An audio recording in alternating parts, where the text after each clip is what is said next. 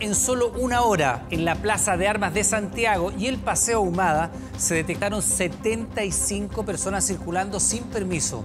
Entre los controlados hubo dos personas con COVID positivo. Las autoridades recordaron que hay multas millonarias y cárcel para los infractores. A diario se piden más de 600 mil permisos en la comisaría virtual.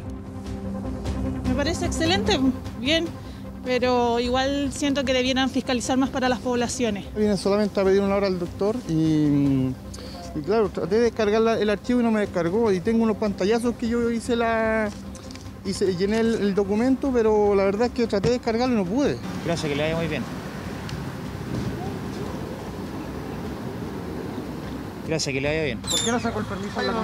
Porque yo tenía entendido de que con el permiso, o sea, perdón, con el, el papel médico no era necesario el salvoconducto, simplemente por eso. Por favor, señor.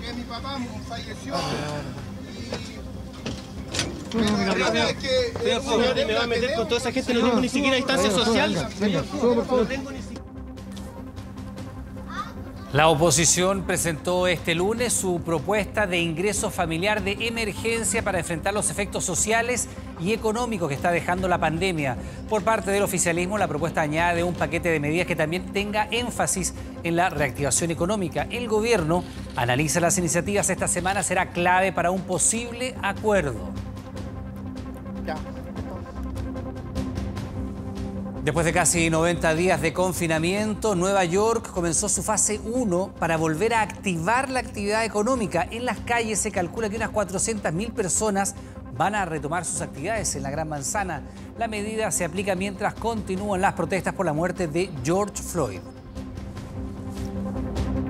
Arturo Vidal y Alexis vuelven a la acción este fin de semana. Fin a la cuarentena por COVID en Italia y en España.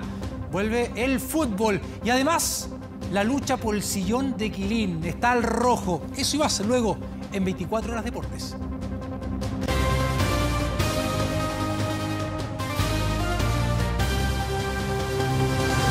¿Cómo están? Buenas noches, bienvenidos a las noticias en esta jornada en la cual la capital amaneció con más de 200 dispositivos de control en las principales arterias y plazas. Probablemente usted se encontró si es que salió de la casa con alguno de ellos.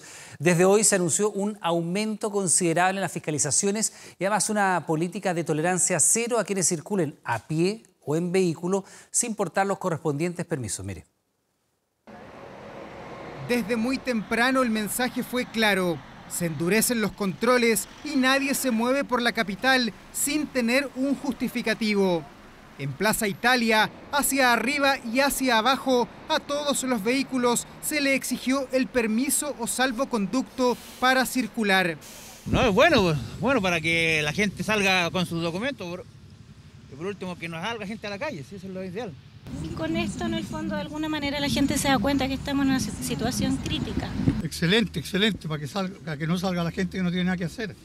Era lógico y natural que se produciera, que se produjera un poco de congestión, ya debido a que eh, la metodología eh, obedece a que cada persona que esté transitando, circulando por las principales arterias de la región metropolitana pueda ser fiscalizado y controlado. El promedio de permisos diarios no baja de los 600.000 y eso es demasiado en medio de semanas que las autoridades identificaron como críticas. A ras de piso, carabineros, la PDI, militares y guardias municipales fueron implacables. Motivo del, del estómago hay que venir a hacer las compritas acá, yo soy peruano y he venido a hacer mis compras, mis compras a La Vega y ya me estoy retirando. Gracias, que le muy bien. Sí, porque tengo el permiso ya que se me, se me da la hora. Señores, muchas gracias. Es excelente, bien, pero igual siento que debieran fiscalizar más para las poblaciones. No fijarse tanto en el centro de Santiago. Nada, vine solamente a pedir una hora al doctor y, y claro, traté de descargar la- el archivo y no me descargó. Y tengo unos pantallazos que yo hice la. Hice, llené el, el documento, pero la verdad es que traté de descargarlo y no pude. Pero, ahora salir detenido? creo, creo que sí. Es que tengo hablando con la orden médica, me dicen que también tengo que hacer un salvoconducto. Porque yo tenía entendido de que con el permiso, o sea, perdón, con el, el papel médico no era necesario el salvoconducto, simplemente por eso. Por favor, señor.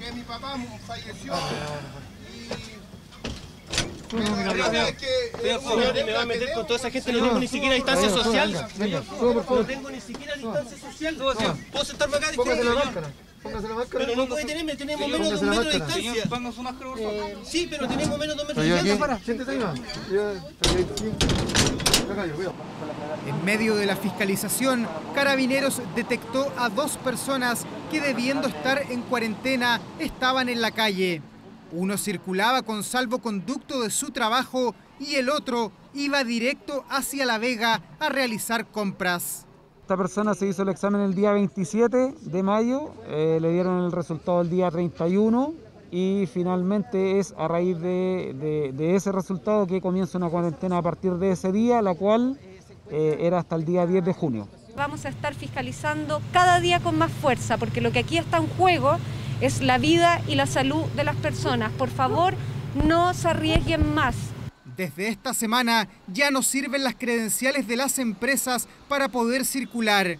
El miércoles se habilitará a través de la comisaría virtual un salvoconducto especial donde el empleador y no el empleado deberá inscribirse y anotar a todos sus trabajadores. 138.846 casos totales y 2.264 muertos ha dejado el coronavirus en nuestro país. Eso arrojó el informe de hoy, en el cual se ahondó en el cambio metodológico del conteo de fallecidos, que comenzó a regir precisamente hoy y que podría generar variaciones significativas en las cifras durante los próximos días. ¿En qué consisten estos nuevos criterios? Lo vemos en la siguiente nota.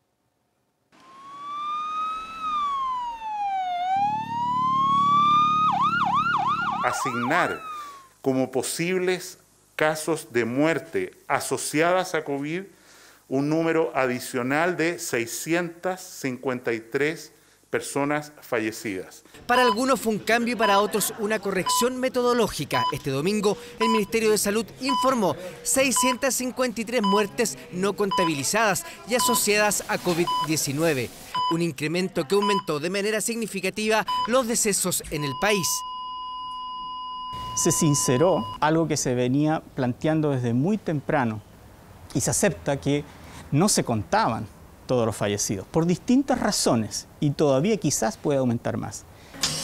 Metodología que comenzó a cruzar los datos del registro civil por muertes a causa de COVID-19 y también asociadas a ellas versus la plataforma Epivigila del Ministerio, comparando los PCRs y las muestras tomadas en todo el país lo que hasta este lunes encumbra a los fallecidos en 2.264 y que podría significar variaciones importantes en las cifras durante esta semana. Este cambio metodológico explica que algunas personas ahora se excluyan de la lista y otras, un número significativo, muy significativo, ingrese ahora a estas listas. Esto se logra mediante un cruce de aquellos inscritos en el registro civil en cualquiera de las causales, excluyendo aquellos que fallecen por otras causas, por ejemplo, traumas, accidentes, infartos, lamentablemente también suicidios. Y por lo tanto, se logra una vinculación entre los fallecimientos del registro civil por cualquier causal que incorpore COVID con aquellos que tienen un PCR. Un cambio que a juicio de los especialistas es tardío. Uno de los grandes problemas de no mostrar los números reales de fallecidos durante los últimos tres meses es que las personas tienen una falsa sensación de seguridad. De alguna manera la percepción de riesgo se ha mantenido muy baja. Cuando hay baja percepción del riesgo, yo no necesariamente respeto las cuarentenas. Las personas que tenían una prueba de PCR que estaba en proceso de eh, ser informada, esas personas antes estaban fuera del conteo. Eh, y el gobierno lo que no estaba haciendo era que cuando ese resultado apareciera positivo, retrospectivamente corregir las cifras. Eso hace que acumuladamente tenemos un número muy importante eh, de personas fallecidas que no estaban siendo consideradas dentro de los registros. Este lunes se contabilizaron 74 muertes y el gobierno aclaró que la nueva cuenta se actualizará diariamente de acuerdo a la fecha de inscripción del fallecimiento. El otro problema es que algunas regiones aseguran que se han informado menos fallecidos de los que ellos han reportado. En Magallanes bajaron de 19 a 14 fallecidos y en Biobío descendieron en dos casos. Lo lamentable es que ha habido mucha confusión con la forma en que esto se ha presentado a la ciudadanía, eh, el que hay algunas regiones que hayan bajado la cifra de fallecidos, algo que todavía no tenemos una buena explicación de parte de la autoridad. Fallecimientos que eh, ocurrieron en, reportados insisto en el certificado de función, que era el dato que mirábamos antes, pero inscritos en el registro civil como un fallecimiento con domicilio en la ciudad de Santiago, eleva el número de la ciudad de Santiago de fallecidos y los disminuye eh, en otra parte. Fue el Centro Espacio Público quien mediante un estudio alertó sobre una cantidad de fallecidos no contabilizados y pese al cambio metodológico creen que aún hay inconsistencias. 650 y tantos fallecidos que decidió agregar el Ministerio nosotros no hemos tenido acceso a la manera en que fueron calculados, así que no te puedo decir si eh, la manera en que la hizo el ministerio es consistente con la manera en que la hicimos nosotros. para, eso tendría que, para eso tendrían que em, facilitar el acceso a la metodología que utilizaron ellos, y eso no lo han hecho hasta hoy. Todos esos eh, fallecidos adicionales se agregaron un mismo día, y eso dificulta la comparación. ¿Por qué todos los fallecidos se agregaron en un solo día? ¿Cómo se van a contabilizar a quienes murieron sin PCR? Esas son algunas de las dudas de expertos ante el cambio metodológico en el conteo de decesos que ya comenzó a implementar el gobierno y que se irá viendo reflejado durante los próximos días. Más eficiente, menos doloroso, más seguro. Son los argumentos que entregó la autoridad sanitaria para incorporar los test de saliva en la detección del coronavirus. Eso sí, parte de la comunidad científica discrepa ¿eh? de su utilización. Andrés Ramírez tiene la nota. Los positivos y sospechosos de COVID saben de esto. Así es como se toma en Chile y prácticamente en todo el mundo el test para descartar o confirmar el coronavirus. Eso tendrá cambios, por lo menos en territorio nacional. Coincidieron en que eh, usar el test de saliva es mucho más eficiente, menos riesgoso para la que toman la muestra eh, más rápido de aplicar, eh, etc. El test de saliva comenzará a aplicarse progresivamente en los servicios de salud primaria. La decisión está tomada. Desde el ministerio dicen que el comité de expertos hizo la propuesta, eso sí, no toda la comunidad científica lo respalda. No lo recomendamos por el momento porque eh, la muestra de referencia para cualquier virus respiratorio es el hisopado nasofaringio y eso se ha estandarizado a nivel mundial. Molesto, incómodo, doloroso, mala fama tiene entre los pacientes el test que actualmente se aplica. La Sociedad Chilena de Infectología en todo caso dice que por ahora es lo más confiable. Se han, por esta pandemia, promovido distintos otros tipos de muestras para poder acelerar el diagnóstico. Sin embargo, cuando uno usa otra muestra, tiene que hacer estudios muy eh, precisos de validación, estudios serios y ojalá con la técnica con la cual yo estoy trabajando localmente. En este caso la técnica es mucho más fácil porque consiste en depositar saliva o un esputo en un frasco. Es menos traumático para el paciente, insisto en eso, es menos contaminante o menos peligroso para el operador. Se puede hacer incluso en un auto. El doctor Rafael Medina y su equipo están desde marzo haciendo un estudio clínico. Les toman a sus pacientes muestras simultáneas a través de la saliva y también de la clásica de hisopado nasofaringio. Ya tiene algunos resultados preliminares. Y hemos encontrado que en los primeros 10 días, desde inicio del síntoma, eh, ambas muestras tienen un valor diagnóstico similar. Ahora, eh, recalco que lo que nosotros hemos hecho es un estudio clínico eh, con alrededor de 50 pacientes que lo hemos podido seguir longitudinalmente. La autoridad sanitaria descartó que la incorporación del test de saliva tenga que ver con una carencia de insumos para tomar el examen vía nasal. Insiste que el objetivo es aumentar y facilitar la capacidad de testear a la mayor cantidad de personas posibles. Bueno, como todos los lunes, eh, estamos monitoreando el avance del coronavirus acá en el estudio. Ya estamos con el doctor Sebastián Ugarte, jefe de la unidad de pacientes críticos de la Clínica Indisa. ¿Cómo está, doctor? Un agrado estar acá. Igualmente que con distancia y todo, pero qué bueno tenerlo acá en el estudio. Y mm, comentábamos recién los titulares y me gustaría también que nos diera su, visión, doctor Ugarte, sobre este cambio de metodología en el conteo de las víctimas fatales. Eh, de una sola vez y en un solo día se agregan 653 casos nuevos Pasamos de tener 1.500 y algo a 2.000 y fracción.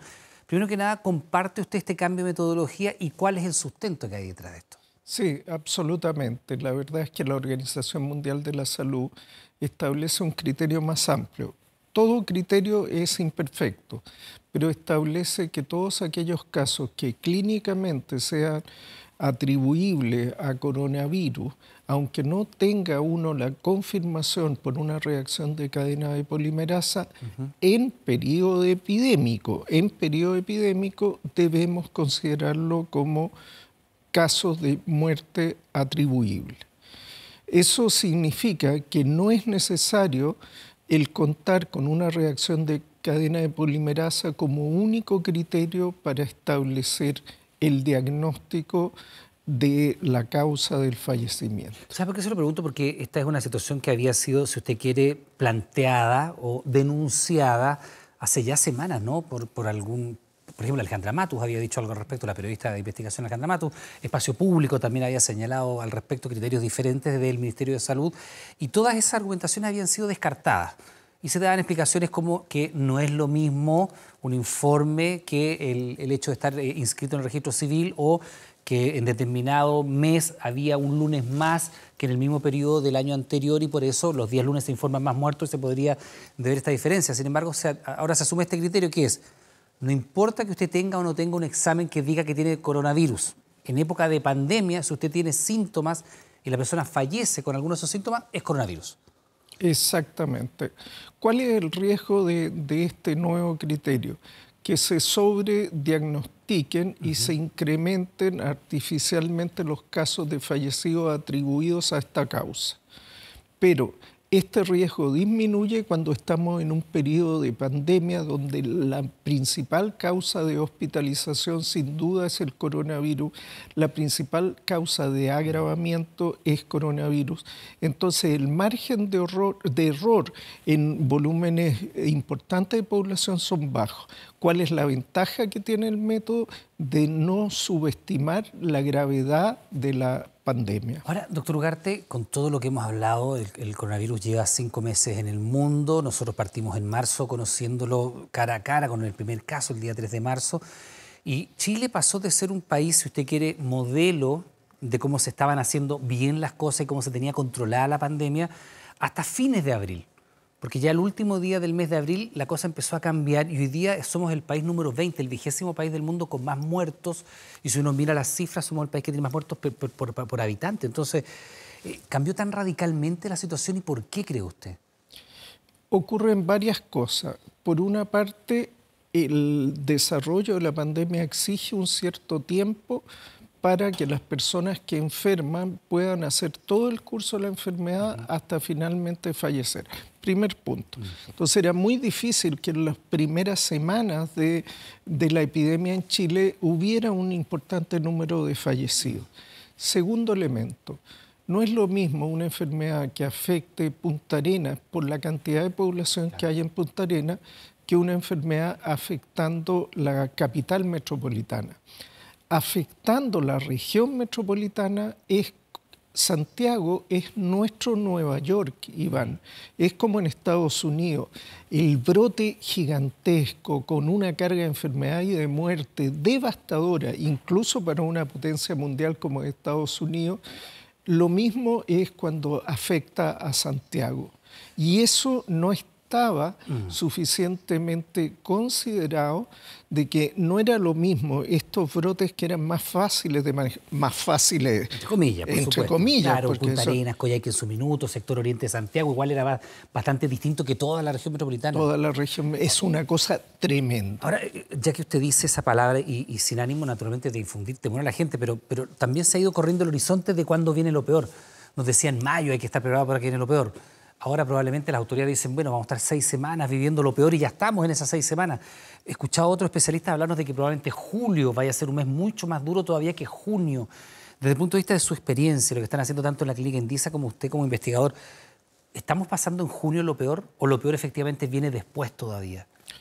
Va a depender un poco de la efectividad de las medidas de contención que se apliquen todas las medidas de contención lo que hacen es ralentizar los episodios, lo hacen más lento, pero alargan el proceso. Entonces, eh, si uno piensa en un tiempo más largo, tiene la ventaja de que también implica que el, el, aumento no va a ser tan agudo y brusco. Un aumento agudo y brusco, como se prevé en alguno de los análisis eh, epidemiológicos, sería de consecuencias sumamente graves para el sistema de salud. Ahora, doctor, con este nuevo sistema de conteo de víctimas fatales, eh, hay quienes señalan que más o menos a mitad de esta semana debería producirse lamentablemente un salto bastante importante del número de víctimas diarias, pasar de los 90 y algo casos que estamos teniendo, que es una cantidad enorme, a tener 140 casos diarios probablemente. ¿Eso está dentro de las posibilidades? Efectivamente, eso puede ocurrir. La verdad es que se están tomando todas las medidas para que eso no ocurra pero la gravedad de, esta pandemia y la gravedad de este virus es una situación sin precedentes. Lo que ocurrió en España, lo que ocurrió en Italia, lo que ocurrió en Ecuador, lo que ocurrió en Estados Unidos, nos deja duras lecciones si subestimamos este virus. Hay que estar preparado para ese escenario, Iván, con la esperanza de que estando preparado para lo peor ocurra lo mejor pero nadie perdonaría al sistema sanitario de no estar preparado para ese escenario. Doctor, eh, me quedan un par de preguntas a ver si alcanzamos por tiempo. Primero, ¿usted le parece que este nuevo método para detectar la presencia eventual del coronavirus, que es a través de la saliva, es más seguro, más rápido, es más eficiente? Porque hay algunos que han levantado la diciendo, ojo, que a lo mejor no puede ser, puede que no se tome también la muestra, puede que las cadenas se pierdan. La verdad es que ambas posiciones tienen puntos eh, de razón. O sea, el, test de saliva efectivamente es bastante trazable, es fácil de aplicar, expone a menos riesgo al personal un contacto directo con la vía respiratoria del examinado y se puede autorrealizar el examen incluso con cierta mínima instrucción. Todo eso es cierto. También es cierto que el principal problema que tiene Chile no es el problema de tomar exámenes, sino de procesar exámenes. Entonces, la Sociedad Chilena de Infectología apunta más bien a otro lugar que es la capacidad de procesar exámenes que deberían aumentarse. Entonces, más que contraponer como posiciones antagónicas, yo diría que Ambos enfoques son técnicamente correctos, son científicamente correctos, pero apuntan en dos direcciones diferentes del mismo problema. Ahora, a propósito de, las variaciones de criterio, doctor Ugarte, que ha habido, tanto de la autoridad, pero también de la Organización Mundial de la Salud, recordemos que al principio nos decían no use mascarilla, después dijeron no, tiene que usar mascarilla, eh, la hidroxicloroquina, eh, primero, pero sí, después no porque es peligrosa, y ahora resulta que de nuevo se está volviendo a estudiar. Con la ivermectina pasó un poco lo mismo. Eh, entiendo que la FDA tiene noticias al respecto. Se lo pregunto porque ustedes en la, clínica científica estaban precisamente utilizando la ivermectina, ¿no? Sí, la ivermectina es un medicamento que se usa, que hay más de 3.000 500 millones de tratamientos en el mundo con una tasa de complicaciones realmente muy baja y la FDA aprobó su uso en una indicación que se consideraba fuera de lo habitual. Se sabía que tenía efectividad sobre virus, sobre diferentes virus, ya había muchas publicaciones, pero aprobó específicamente su uso en esta indicación especial. Por lo tanto, la verdad, tasa de complicaciones baja, indicación nueva, pero que parece razonable, lo que no significa necesariamente, y ahí hay que poner la cautela, que la efectividad del laboratorio se vaya a traducir necesariamente en un, en un cambio dramático en la clínica. Nosotros estamos testeando y hasta el momento los resultados son esperanzadores, pero siempre en ciencia es necesario mezclar la esperanza con la duda metódica del científico. Doctor Sebastián Ugarte, como siempre, le quiero dar las gracias porque esté con nosotros. ¿ah? Que tenga una buena un semana. Un honor, un agrado. Muy, muy amable, gracias. Bueno, recién, recién el doctor Ugarte ¿ah? eh, fue el epicentro de la pandemia en Estados Unidos y sigue siendo solo una ciudad que llegó a registrar, fíjese, más contagios que países enteros. Estamos hablando de Nueva York. Este lunes comenzó precisamente el desconfinamiento en la ciudad que nunca duerme. Tras los efectos de la pandemia, Nueva York se prepara para entrar en la fase 1 de un proceso que apela básicamente a la disciplina de los ciudadanos. Estuvo paralizada con hospitales de campaña y morgues repletas, es que la ciudad de Nueva York incluso llegó a tener más contagiados que países enteros como España e Italia que hasta hace poco eran de los más afectados por esta pandemia. Sin embargo, la pesadilla pareciera irse suavizando. Es que luego de estar más de dos meses cerrada, la ciudad de los rascacielos comienza a abrir su economía apelando a la disciplina de sus ciudadanos. Lo más importante para recordar hoy es no olvidar las lecciones que hemos aprendido. Llegamos tan lejos por el duro trabajo y la disciplina. Tenemos que mantenernos firmes para poder pasar a la siguiente fase y a la siguiente fase y así sucesivamente. En una primera fase se espera que unos 400.000 trabajadores eh, regresen a sus puestos laborales. Primero regresarán las faenas de la construcción y las tiendas minoristas, pero solo para ventas por encargo sin atención directa al público. Además se han implementado barreras físicas, dispensadores de alcohol gel, exigencia en el uso de mascarillas, precauciones eh, para evitar el rebrote. El transporte subterráneo llegó a tener solo un 8% de sus habituales pasajeros y mantuvo solo algunas de las estaciones operativas. Durante semanas fue desinfectado, todo esto pensando en la primera etapa. Nos estamos preparando para la fase 1 en Nueva York y estamos muy contentos de darle la bienvenida al sistema de metro, que no ha estado con nosotros durante unos meses. Nuestros pasajeros verán algunas diferencias, verán señales visuales en nuestras plataformas. Estamos trabajando muy duro para mantener nuestro sistema limpio. No abriríamos el metro si supiéramos que no es seguro. Yo jamás le pediría a nadie que hiciera cosas que yo tampoco haría es que Nueva York tuvo días oscuros. La situación llegó a niveles alarmantes cuando un dron captó estas imágenes en una pequeña isla muy cercana al Bronx. Hart Island había sido utilizada durante un siglo y medio como cementerio para muertos sin familia o destinado a aquellos que no tenían dinero para costear un funeral. La postal de una fosa hecha con retroexcavadora marcó los días más grises del epicentro de la pandemia en Estados Unidos.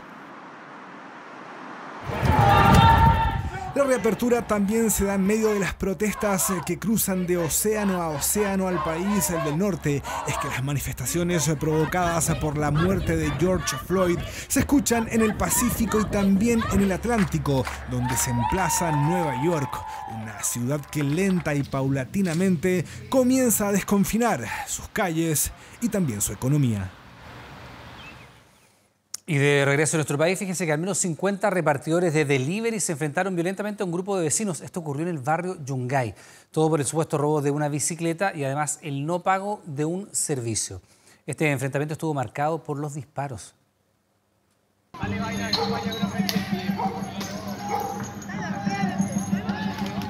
Empezaron a tirar un montón de piedras. Mira, el de casco blanco tiene la bicicleta testimonios, los audios señalan de que hubo disparos eh, de personas que salieron de ese domicilio. Ellos tenían también pistola, no sé, nosotros hemos tirado, nosotros hemos tirado botellas, hemos tirado piedra, todo lo que hemos tenido para tirar. Batalla campal entre un grupo de habitantes del barrio Yungay y repartidores de comida rápida. Del lanzamiento de piedras y otros objetos contundentes se pasó a los disparos.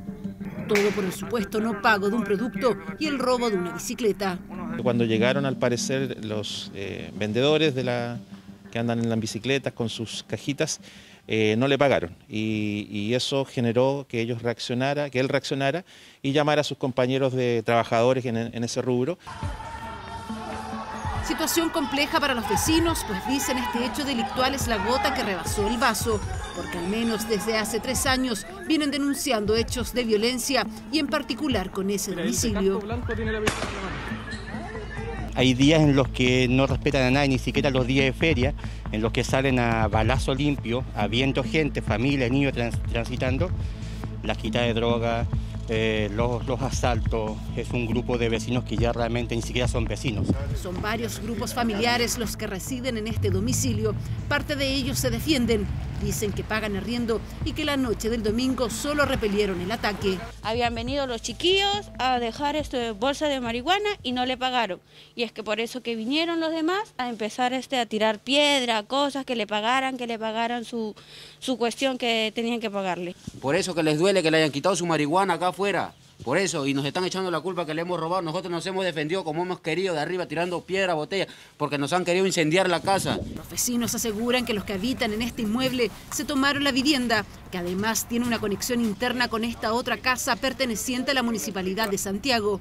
Pero que pese a las denuncias, la situación se mantiene igual. Son dos casas en toma, sobre todo esta casa que es de la municipalidad, que nosotros y nosotros como vecinos no entendemos cómo una casa que es de la municipalidad, comprada hace mucho tiempo para proyectos sociales del barrio, esté ocupada y la municipalidad no hace nada. Lleva años tomadas, se están iniciando las acciones, eh, acciones legales para el desalojo de esa propiedad, para poder sacar a la gente, reubicarlo y poder destinar esa propiedad a vivienda social, que es para lo cual se adquirió. Enfrentamiento que atemorizó a la población, que exige mayor presencia policial y fiscalización. Así como este lunes llegaron para allanar el domicilio.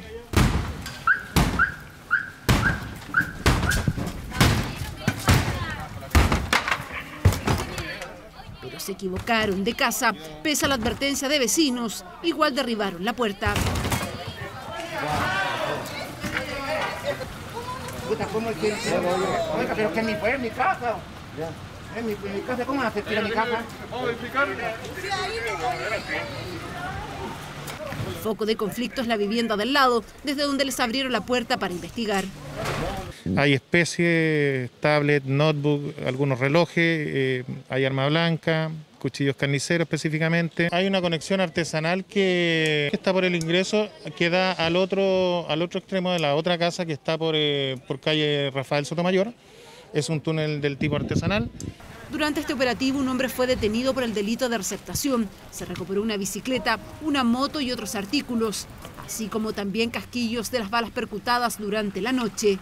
Momento en que un adolescente extranjero también fue detenido. Estaba ilegal. Casi 370 mil pesos para familias de tres integrantes y más de 450 mil para las de cuatro miembros. Esa es la propuesta de ingreso de emergencia que seis partidos de la oposición, desde la democracia cristiana hasta el Frente Amplio, le presentaron al gobierno. Pretenden que esta iniciativa sea analizada y acogida con el acuerdo al que convocó el presidente Piñera. Fue el presidente de la República quien formuló un llamado a las fuerzas políticas para, según sus palabras, un gran acuerdo nacional que permita enfrentar los efectos de la pandemia. Y en este marco, la oposición presentó una propuesta de carácter urgente para la aprobación de un ingreso familiar de emergencia. En el documento se establece un piso mínimo de protección para hogares que lo necesiten y sin discriminación, para que ningún grupo familiar quede por debajo de la línea de la pobreza con montos según el número de integrantes y que se entregará en forma inmediata mediante depósito en cuenta RUT de Banco Estado y con una duración mínima de tres meses. Hace meses que venimos diciendo que una familia de cuatro personas no puede vivir con menos de 450 mil pesos. Es urgente y parece que el gobierno quiere seguir comprando tiempo. Pónganse de acuerdo con Chile Vamos. Han sido ellos quienes han negado aumentar los ingresos de las familias en una renta básica de emergencia. Tenemos ahorro y capacidad de endeudamiento. Pues bien, hoy es el momento de hacer un esfuerzo fiscal significativo que nos permita proteger adecuadamente a todas las chilenas y chilenos. Propuesta de la DC, el PPD, el PS, el Partido Radical, RD y el Partido Liberal. Iniciativa que apunta al ingreso familiar de emergencia, opciones que ya están siendo analizadas por el Ejecutivo. El objetivo es llegar lo antes posible con un acuerdo. Y lo que se busca precisamente es aumentar la cobertura en cuanto a la cantidad de personas que se puedan ver beneficiados, por ejemplo, con este ingreso familiar de emergencia. Primero que no sea decreciente y también aumentar los montos. Tenemos suficientes recursos económicos para gastarlos ahora. Vamos a tener que necesitar por lo menos 10 puntos del Producto de Chile para dedicarlo simplemente a mejorar la situación de los que están más complicados. Para el bloque oficialista, un tema que resulta clave será definir el monto del gasto fiscal para enfrentar la emergencia en todas sus dimensiones. Tenemos tres problemas severos con la pandemia, dramáticos. La falta de ingreso de la familia, la falta de empleo y la necesidad de reactivar Chile. Son tres temas y tenemos que hacerlo todo dentro de un mismo marco fiscal. Primero, tenemos que saber cuánto tenemos disponible y luego ir priorizando cada una de las propuestas que tengamos para ir en ayuda de los que más lo necesitan. El acuerdo que estamos construyendo es urgente y por lo mismo le queremos pedir a la oposición que cuide las formas. Hacer público eh, este tipo de propuestas no ayuda en este momento. Otro punto por determinar será si el acuerdo se va cerrando por partes o como un paquete completo. Todo eso será materia de debate. Esté el análisis, por ejemplo, del ingreso familiar de emergencia y cómo seguimos enfrentando la pandemia en este tema y también cómo protegemos los empleos, cómo cuidamos efectivamente nuestras pequeñas y medianas empresas y cómo logramos reactivar nuestro país cuando esta pandemia sanitaria y social vaya pasando. El gobierno nos invitó a un diálogo donde hemos concurrido de buena fe a hacer propuestas pero este no es un diálogo cerrado, es un diálogo abierto a la ciudadanía y donde hacemos propuestas pensando primero en la gente. De esta manera avanzan las conversaciones entre gobierno y oposición. Todo esto en una semana clave para un acuerdo que permita enfrentar los efectos sociales y económicos provocados por la pandemia. Concepción es la primera ciudad en Chile con una ordenanza para multar a quienes no respeten la distancia de un metro y medio en bancos, supermercados y empresas.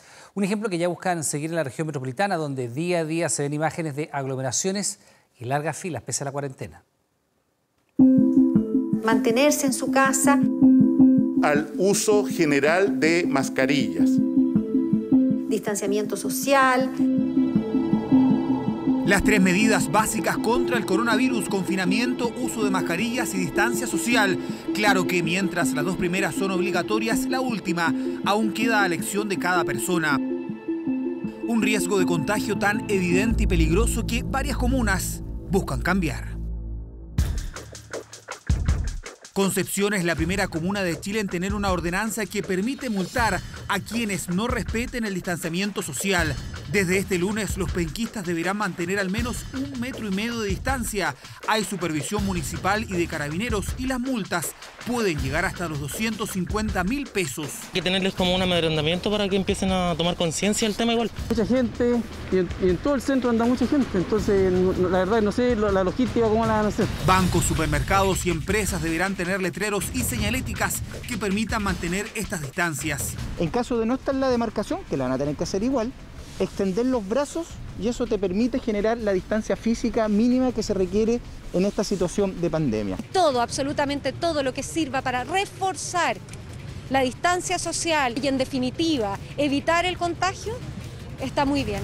Todo sirve para evitar más contagios, una idea que también buscan repetir en la región metropolitana la gente no respeta, por eso que la autoridad sigue haciendo hincapié de que la gente obedezca. Nunca es tarde una medida como esa, yo creo que siempre ayuda a todos. La zona más golpeada por el coronavirus y donde justamente se ven más imágenes de aglomeraciones. Las Condes ya trabaja para tener próximamente una ordenanza que también imponga sanciones por falta de distancia social. Frente a los bancos, frente a los supermercados, en los delivery, eh, se producen aglomeraciones, no se respeta el metro de, distancia. Estamos pensando en eh, demarcar nosotros, obligar también a los locales a que ellos demarquen a través de esa misma ordenanza. Uno o más metros de distancia recomienda la OMS 1,5 exige Concepción. ¿Seremos capaces de respetar esta medida? Se sabe que el distanciamiento social, cuando este es entre 1 a 2 metros de distancia permite bajar la tasa de infección a 3%.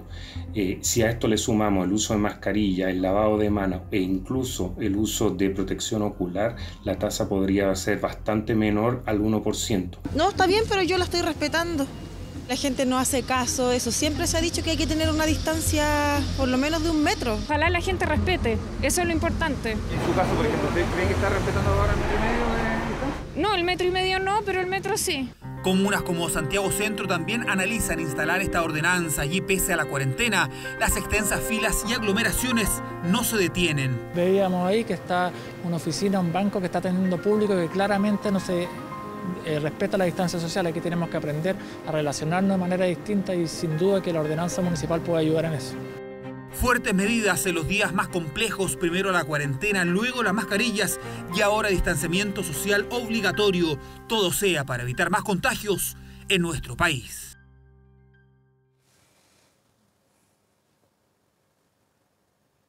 Y el gobierno respaldó al ministro de Salud Jaime Mañalich e hizo un llamado a no caer en pequeñeces ante las nuevas críticas de algunos dirigentes de la oposición que cuestionaron su gestión y además pidieron su salida luego del cambio metodológico para el conteo de fallecidos en el país. Sigo contando eh, y tengo el honor de contar eh, continuamente con el soporte del presidente de la República y es por eso que estoy aquí parado. Fue a fines de mayo cuando Jaime Mañalich aclaró que su cargo al mando del Ministerio de Salud contaba con el respaldo del presidente Piñera tras diversas críticas a su gestión. El pasado 4 de junio, en un sorpresivo ajuste de gabinete, ese apoyo se consolidó porque su nombre no estaba en el listado decretado por el mandatario. El titular de salud Jaime Mañalich se mantiene en sus funciones a cargo del manejo de la crisis sanitaria. Hace más de tres meses se registró el primer caso de COVID-19 en Chile y durante este tiempo, en reiteradas ocasiones, partidos de oposición han pedido la renuncia de Mañalich. Su estilo, sus declaraciones y varias decisiones erráticas, según ellos, han provocado confusión en la población. Es francamente inaceptable que las cifras respecto de los fallecidos por COVID-19 no hayan tenido la rigurosidad. Se trata de personas que han fallecido producto de decisiones sanitarias que se han adoptado de manera errada. El presidente del Partido Socialista lo dice por la polémica que se generó a raíz de un informe de espacio público que mostró una amplia diferencia entre la cifra de fallecidos informados por el MinSal y la que se registró en el país entre el 2 de abril y el 27 de mayo por causas relacionadas al COVID-19. Informe que en primera instancia Mañalich descartó no se ajusta a la realidad. Pero este domingo el discurso fue otro. El MinSal ajustó la cifra de personas fallecidas a raíz de estos datos. Nos lleva a la necesidad de reconocer como posibles casos de muerte asociadas a COVID un número adicional de 653 personas fallecidas. Fue esta la gota que rebasó el vaso para varios dirigentes políticos. La vicepresidenta de la democracia cristiana, por ejemplo, es una de ellas. A través de una carta, Carmen Frey señaló que este cambio de metodología evidencia el fracaso del gobierno en el control de la pandemia y agregó. El señor Jaime Mañalich debe renunciar a su cargo de ministro de Estado. Llamamos a toda la sociedad chilena a exigir un cambio en la estrategia sanitaria y social. Anunció la batalla de Santiago y la está perdiendo estrepitosamente. ¿Qué más tiene que hacer para irse? ¿O el presidente está esperando que la oposición saque a Mañalich a través de una acusación constitucional? Me parece que tratar de culpar al ministro de Salud por la situación que está viviendo nuestro país es algo que no corresponde. Yo, en términos generales, creo que el gobierno ha tomado buenas decisiones. Basta ya de tratar de sacar ventajas políticas. Esta es la hora de la unidad, de la solidaridad. Y las críticas también vinieron del oficialismo. El senador de Renovación Nacional, Manuel José Osandón, aseguró que ya se cumplió una etapa en el ministerio que comanda Mañalit en todo proceso o estrategia se van cumpliendo etapas. Por eso yo planteé que eché de menos un cambio en salud. No porque el ministro mal lo haya hecho mal, sino porque creo que aquí se cumplió una etapa. Y hoy día necesitamos entrar en una etapa mucho más cercana, más de contención. Nos gustaría efectivamente escuchar más solicitudes de colaboración de cómo poder superar esta pandemia.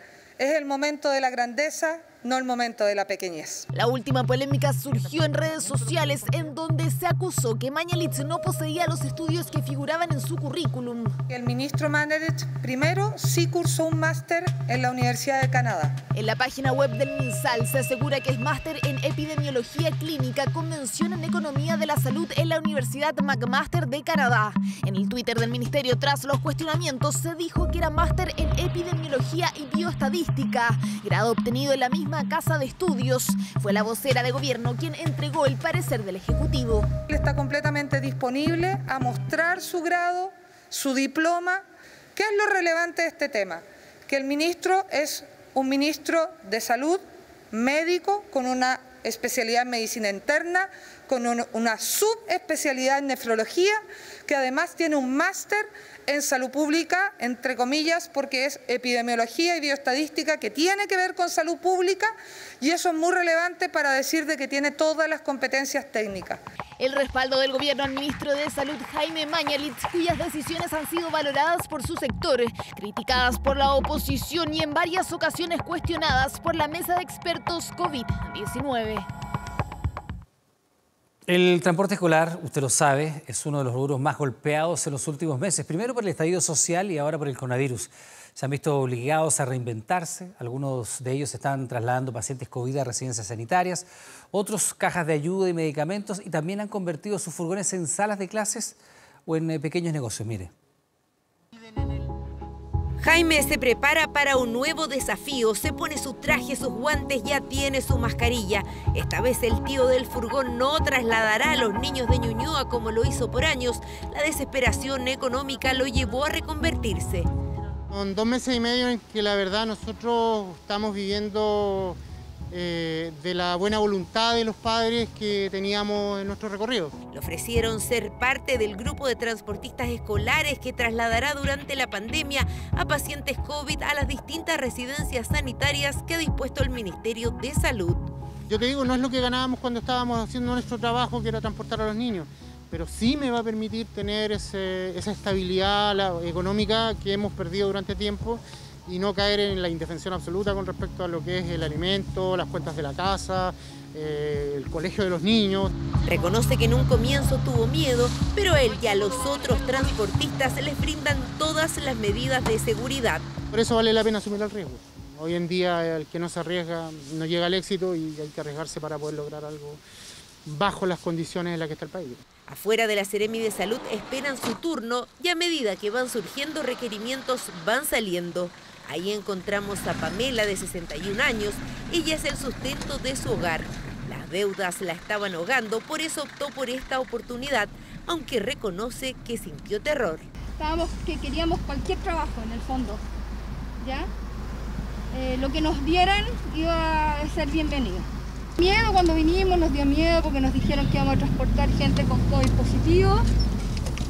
Eh, pero que tuviéramos la confianza que nos iban a entregar todos los implementos y que si hacíamos caso de, todas las instrucciones que teníamos, no nos iba a pasar nada. A Moneda 1025, la vereda norte, y ahí hay un grupo de funcionarios y van a ir en... Uno va a llegar a los funcionarios y el otro va, a ir a buscar ¿Cuántos funcionarios Dos. Dos. Ya cuando lleguen allá a Moneda me llaman. El miedo quizás no está en uno, pero sí en, contagiar a tus hijos, a tu mujer, a tu familia, a tus padres. Mi colega acá va a ser el que va a llevar a todos los infectados arriba del bus, así que él corre el riesgo hoy día, en particular con este operativo. O hay que trasladar a los pasajeros, pero con todas las medidas de seguridad, la verdad es que no, no tenemos mayores complicaciones, aparte obviamente de eh, la inseguridad que siempre uno tiene que tener en este trabajo. Patricia, que estuvo 15 años trasladando niños, ahora trabaja para el CESFAM de Los Prados. Su misión es llevar al personal de salud que va a visitar a los enfermos. No se podía quedar en casa porque debe seguir pagando las cuotas de su furgón. Años que no me veía así, viviendo el día a día. Eh, no duermo pensando que si voy a poder juntar la platita para poder pagar en noviembre mi primera cuota que me corresponde ahora y si no, y yo de verdad que le pido a todos los santos que esto termine. Lorena compró artículos de limpieza y se los vende a los papás de los niños que trasladaba. Su marido también trabaja en este mismo rubro. Los dos quedaron de brazos cruzados. Eh, ellos se han portado bien con nosotros porque me han comprado y a la vez también me han pagado un porcentaje, que, que eso me ha ayudado mucho porque yo estoy pagando mi furgón y, el costo de, que yo pago en el banco es muy alto, entonces se me ha hecho muy difícil. Furgones convertidos en negocios, en farmacias, en salas de clases, en ambulancias, algo que jamás pensaron estos tíos y tías que hoy con creatividad están intentando salir adelante. Bueno, todos los días se aprende algo nuevo a propósito del coronavirus. En medio de tantas dudas, les queremos mostrar tres casos de contagios múltiples, quizás son los más estudiados hasta el momento. ¿ah? Son tres brotes en tres situaciones específicas que arrojan luces para entender mejor cómo prevenir los contagios en empresas, en transportes y en los comedores. Por favor, presta atención.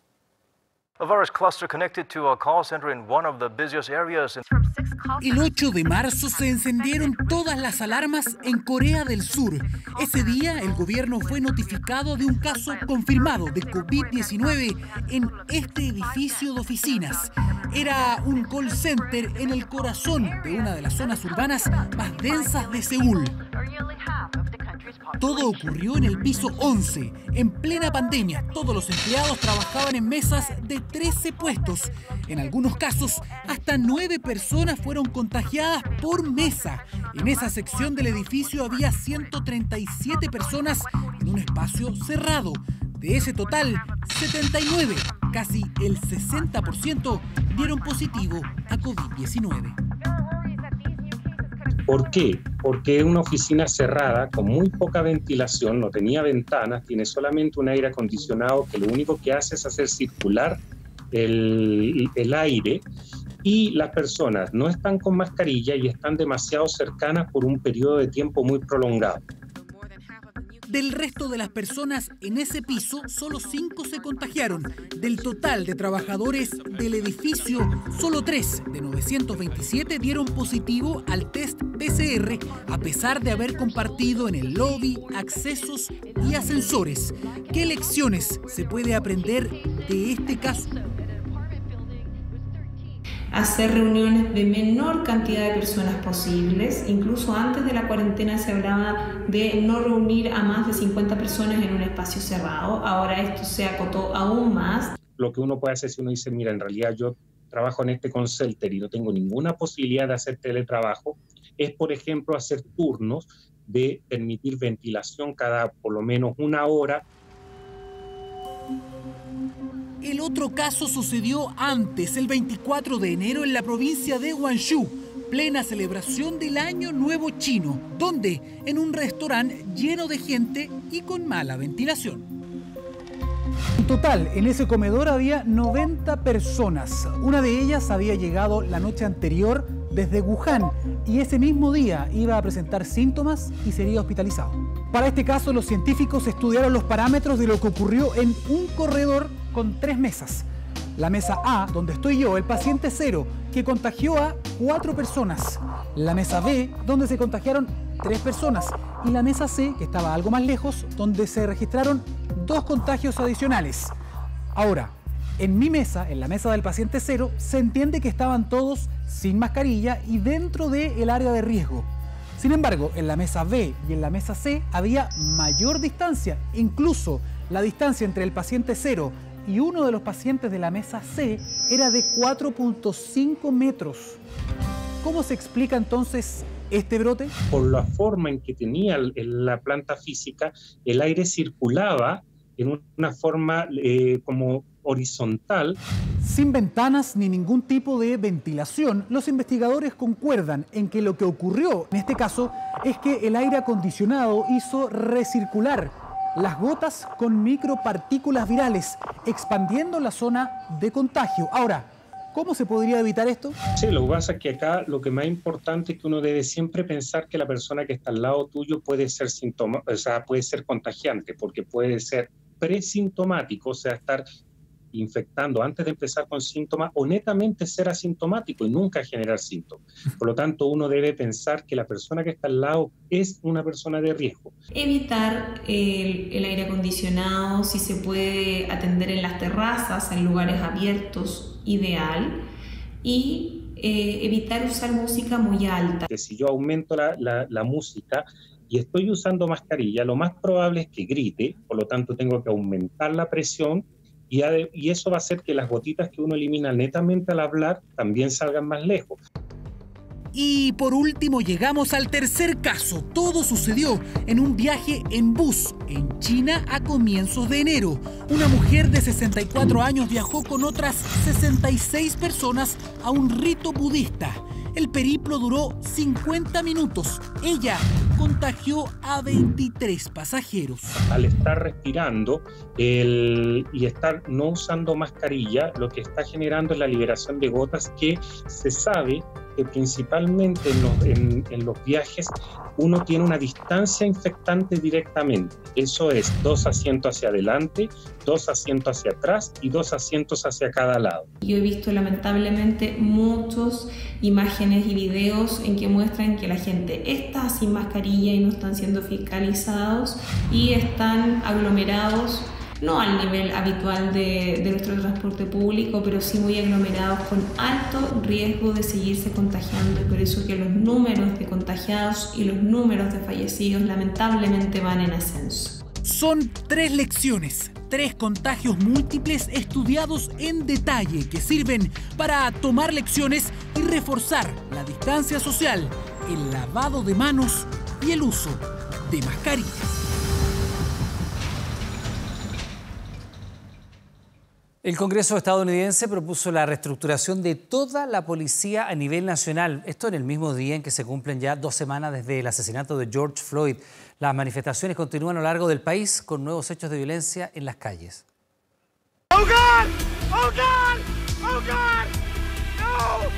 Al menos una persona resultó herida después de que un hombre armado irrumpiera con su auto en una manifestación pacífica contra el racismo en Seattle. El conductor, que aún no ha sido identificado, se perdió entre la multitud, siendo capturado por la policía solo minutos más tarde. Episodios como estos son justamente los que los manifestantes quieren cambiar, que se termine la violencia por racismo para que nunca más vuelvan a contar historias como la de George Floyd.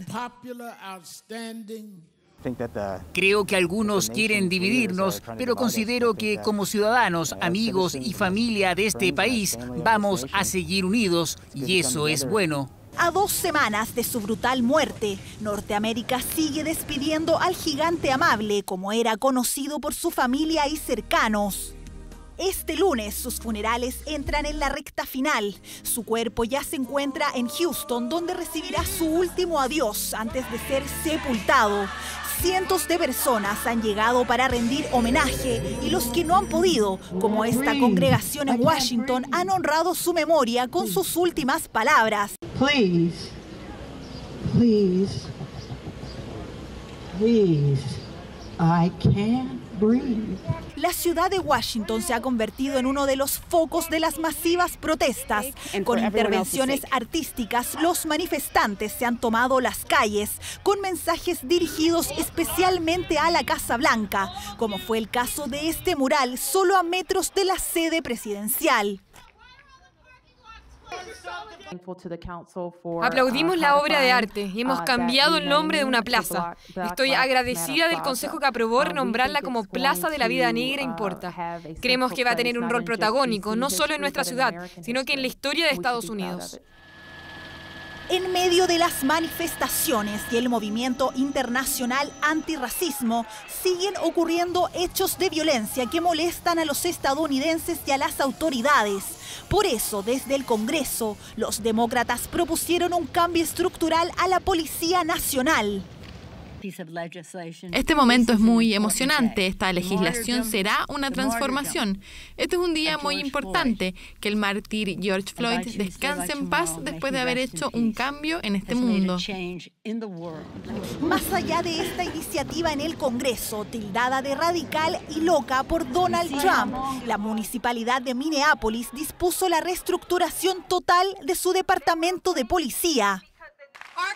Nuestro compromiso es terminar con la relación tóxica entre nuestra ciudad y el Departamento de Policía de Minneapolis para poner fin a la policía como la conocemos y crear sistemas de seguridad pública que realmente nos mantengan seguros. Mientras en Nueva York el gobernador Andrew Cuomo anunció cambios en los procedimientos policiales, como por ejemplo prohibir los métodos de estrangulamiento, como fue el caso de George Floyd, para hacer cumplir la ley. Fortalecer el teletrabajo o incorporarlos a la ley de protección al empleo. Bueno, son las dos alternativas que entregó el gobierno para padres y madres que se aprestan a terminar su postnatal y están solicitando una extensión.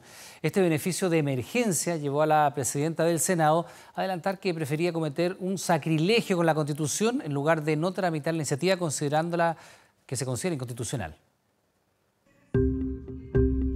Yo prefiero cometer un sacrilegio con la Constitución y ser destituida como senadora que de verdad pasar por sobre una demanda urgente que tienen las madres y los padres hoy día. Fue la frase que marcó un ya complicado y polémico debate en el Senado. Pertenece a su presidenta que de esta manera anunció que sí o sí sería tramitado el proyecto de postnatal de emergencia, iniciativa catalogada como inconstitucional debido a que irroga gasto fiscal, por lo que no cuenta con el respaldo de la moneda. El 27 de junio se me acaba mi postnatal parental. El día 18 de junio termina a mediados de julio. No quiero exponer a mi bebé. Mi postnatal terminó el 23 de abril y no tengo con quién dejar a mi hijo. Cuatro casos que hoy se multiplican en todo el país. Madres que en medio de la pandemia viven con incertidumbre. ¿Qué hago cuando termine mi postnatal? Es la pregunta recurrente. Situaciones que, según la presidenta del Senado, provocaron la frase de la polémica, respaldada por 15 diputadas y más de 30 organizaciones en una carta. Actitud que no fue bien recibida en la moneda. Para las autoridades no es una opción respetar la Constitución y las leyes. Para las autoridades es un deber la extensión del postnatal es un proyecto que requiere de recursos públicos y por lo tanto es el presidente de la República quien tiene la llave para poder implementarlo, para que lo podamos tramitar. Los jefes de comité de Chile Vamos también respondieron, senadores que enviaron una carta a Adriana Muñoz manifestando su preocupación por la advertencia de la segunda autoridad del país que, según sus dichos, está dispuesta a no considerar lo que establece la Constitución. Imagina por un segundo que el presidente de la República dijera, saben, no voy a respetar la Constitución, voy a hacer lo que yo creo que es justo. Sería el inicio del populismo en Chile y la destrucción de nuestra democracia. La Constitución no está, no está para aplicarse en un momento y para no aplicarse en otro momento según sea mi impresión o mi gusto. El fin no justifica los medios, señora presidenta del Senado. Polémica que no impidió que la Comisión de Trabajo del Senado esperara una propuesta del Ejecutivo que, según había adelantado la ministra de la Mujer, estaba analizando el presidente de la República. Tenemos que cuidar los puestos de trabajo, tanto de padres como de madres, pero buscando las alternativas que nosotros hoy día tenemos, que son, por ejemplo, el fortalecimiento del trabajo a distancia, el fortalecimiento del teletrabajo y, por cierto, la ley de protección al empleo, que podría darnos una alternativa. Alternativas en las que no está el patrocinio del proyecto. Para el gobierno, la iniciativa no solo es inconstitucional, sino que también es compleja en términos económicos, porque su extensión por la pandemia en estos momentos no se puede definir. Esperamos que de una vez el gobierno deje de tirarse la pelota de un lado para otro y presente una propuesta concreta.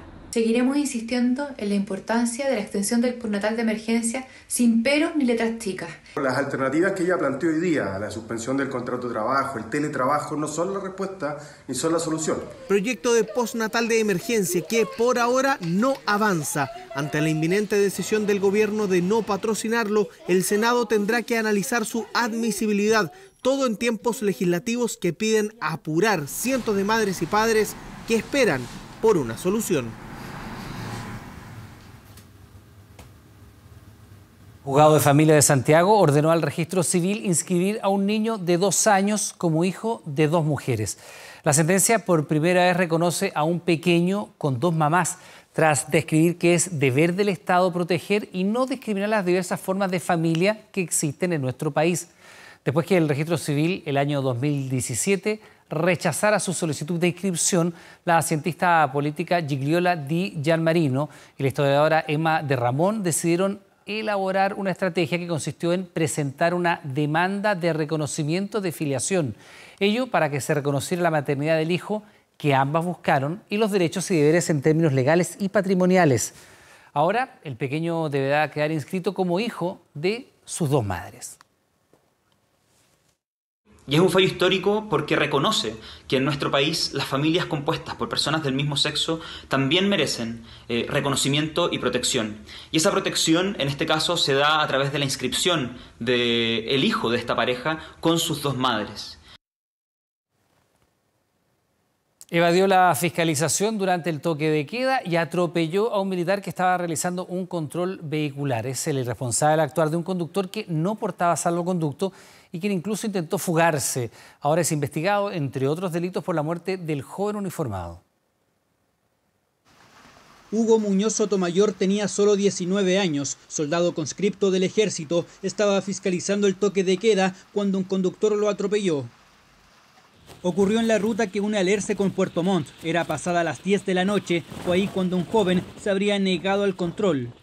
Y esta persona venía, por los antecedentes que tenemos, acceso a velocidad y trató de evadir el control, impactando lamentablemente al soldado, que al final es por una actitud irresponsable de unas personas que no miden el daño que pueden ocasionar. El soldado, según la investigación, estaba con todas las medidas de seguridad, chaleco reflectante, balizas encendidas y conos de tránsito. Hugo Muñoz era oriundo de la localidad de Dalcahue, Chiloé, donde se realizará su funeral este martes. Por tratar de evadir un control en toque de queda, simplemente no se piensa en las consecuencias. Por supuesto que la Intendencia se hace parte de esta situación y presentaremos la querella que corresponda. Bomberos, el SAMU y todo el equipo de emergencia intentaron salvar al uniformado, pero tras minutos de reanimación, Hugo Muñoz murió en el lugar, a 50 metros de distancia del punto de control. El conductor detenido tiene 24 años, con antecedentes por exceso de velocidad, no respetó el toque de queda, al igual que 219 personas en todo el país, más de 27.000 desde mediados de marzo mientras que por infringir la cuarentena hubo 947 detenidos, más de 60.000 a la fecha.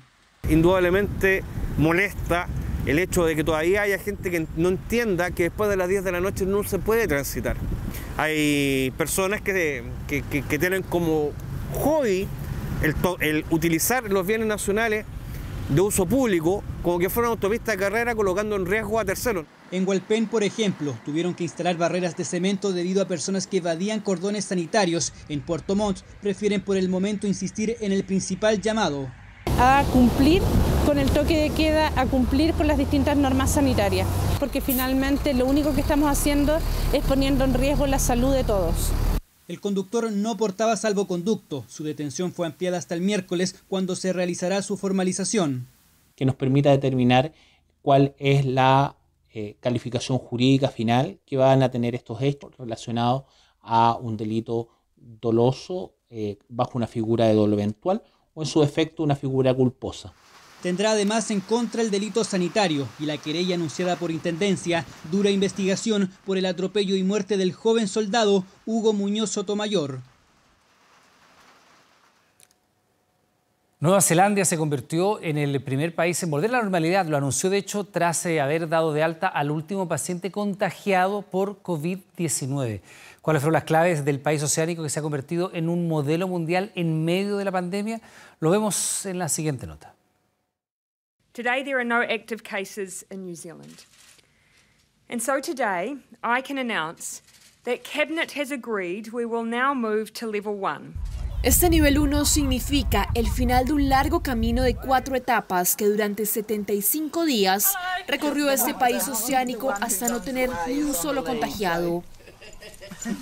Las claves del éxito neozelandés han sido primero el alto testeo, luego el temprano confinamiento y finalmente este esquema por fases para ir potenciando su economía tras la pandemia, aunque sus autoridades sanitarias han dejado claro que esta victoria no es garantía de inmunidad frente al COVID-19. Debido a este arduo trabajo y a esos sacrificios hemos podido aliviar nuestras restricciones a nivel nacional y abrir nuestra economía. Si queremos permanecer en la buena posición en la que estamos ahora, no podemos darnos el lujo de actuar como si todo hubiera terminado en realidad, globalmente esto apenas comienza.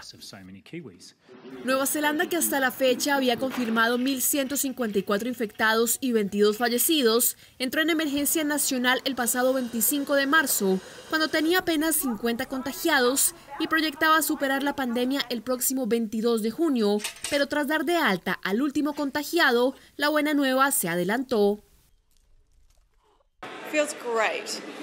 Se siente genial, sí, definitivamente entendimos que era por nuestra salud y seguridad y hay que asegurarnos de hacerlo bien. Es genial estar abierto, tomar un buen café y ver las caras de todos de nuevo. Los neozelandeses podrán retornar a sus puestos de trabajo y reanudar también sus actividades cotidianas. La ansiada normalidad implica que los eventos masivos volverán y no habrá restricciones para asistir a funerales o celebrar bodas.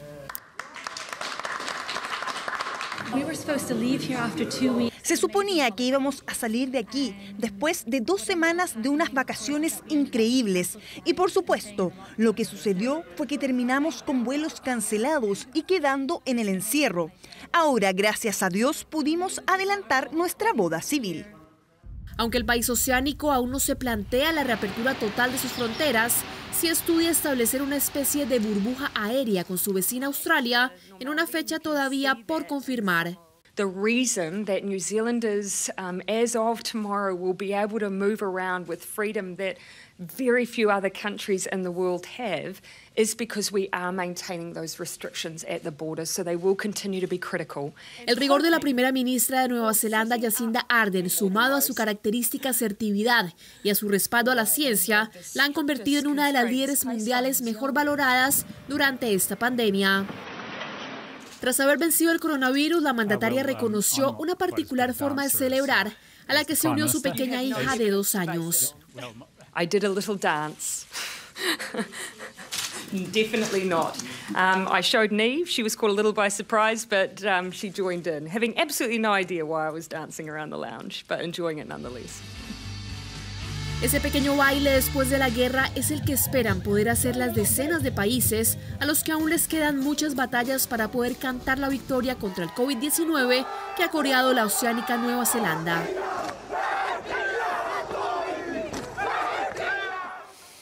Bueno, de regreso a nuestro país, con barricadas y bloqueos de ruta, pescadores de diversas caletas del país protestaron en defensa de la ley de la jibia. A ocho meses de la promulgación de esta normativa, los trabajadores artesanales se oponen a que se restablezca la pesca de arrastre en favor de la gran industria. ¡Ya empezaron! ¡Ya empezaron los! Totalmente interrumpida la Ruta 5 Sur en la región del Maule. Barricadas encendidas por pescadores artesanales que salieron a la calle para protestar. Buscan evitar eventuales modificaciones a la ley de la jibia. Cruzaron un camión y lanzaron piedras a la calzada. Nosotros estábamos trabajando tranquilamente la jibia, ganando sus lucas, y sin embargo estos compadres hoy día los ponen en jaque de que la pueden quitarla y pescarla con un arte depredativo que es el arrastre y el cerco. Protestas en distintas zonas a lo largo del país. 90.000 pescadores artesanales movilizados. También en la caleta de la comuna de Coquimbo avanzaron por las calles encendiendo neumáticos en la autopista. Cerca de 400 manifestantes se enfrentaron con carabineros. Basta ya que nos saquen el mar, que nos dejen el último kilo de pan que queda que el recurso quimia. Estamos luchando por, por lograr lo que por derecho nos corresponde. Incidentes que también se registraron en la caleta Portales de Valparaíso, interrumpiendo por algunos minutos el tránsito vehicular en la principal avenida España. Seguir pescando, arrasando para harina y aceite, y eso es imposible. Y ver lo que estamos viviendo nosotros ahora en estos momentos, no más a la, a la pesca de arrastre. En la misma región, también en Quintero y en el puerto de San Antonio, donde desde distintos puntos se veían las barricadas en el sector costero.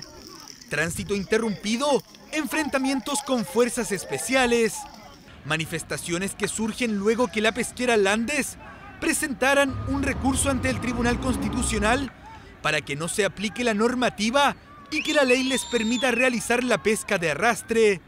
El gobierno manifestó su apoyo a los artesanales. El gobierno está respetando y hará respetar lo dispuesto y aprobado en el Congreso por la ley de la jibia. Estamos trabajando para que en cada caleta pueda haber ayuda para ayudarlo a comercializar sus productos. También en la ruta costera de la región de la Araucanía realizaron cortes. Todo lo que capturamos aquí en Caleta Queole es 100% para consumo humano.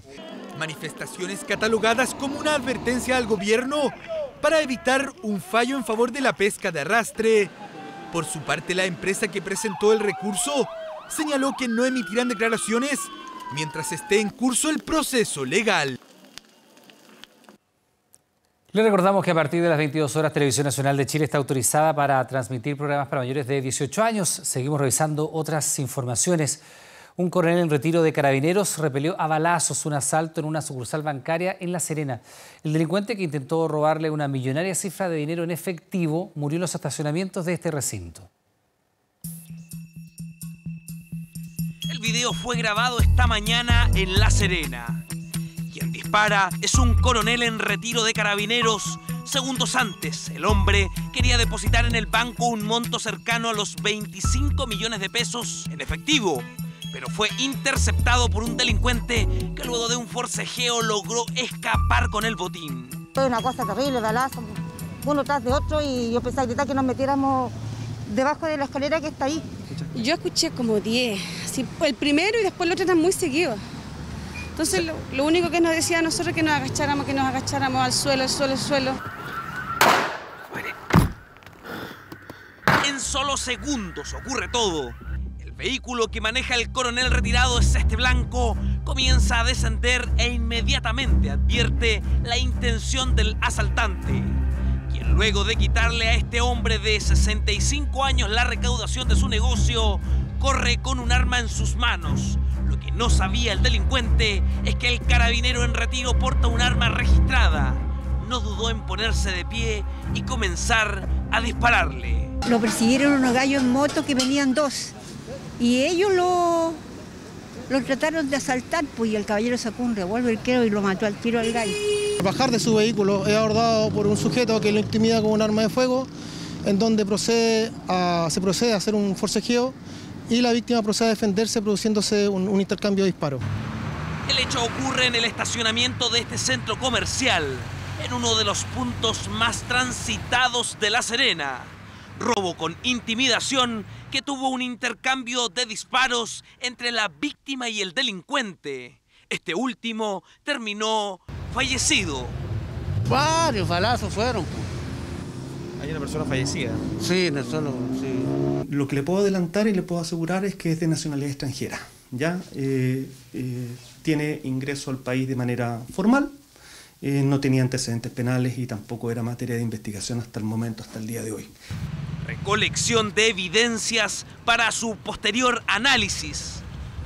En el lugar quedó un arma de fuego y un teléfono que será periciado por los detectives para aclarar el hecho y establecer si actuó en solitario o acompañado. Cientos de colombianos acampan afuera del consulado de Antofagasta a la espera de un vuelo humanitario para poder regresar a su país. Si bien se abrió una posibilidad para volver a Colombia en un vuelo costeado por Chile, esto implicaría una cláusula de no poder regresar en nueve años. Una verdadera vigilia realizan cientos de ciudadanos colombianos a las afueras del consulado en Antofagasta. Llegaron hace tan solo un par de meses en busca de trabajo, lo que se vio truncado producto de la emergencia sanitaria. Piden un vuelo humanitario para retornar a Colombia. Eh, me la he rebuscado esos días vendiendo dulces en la calle.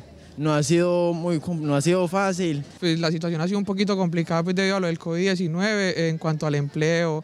Eh, pues no hemos tenido el empleo y la- lo que es la alimentación. La mayoría no tenemos dónde quedarnos pasando la noche.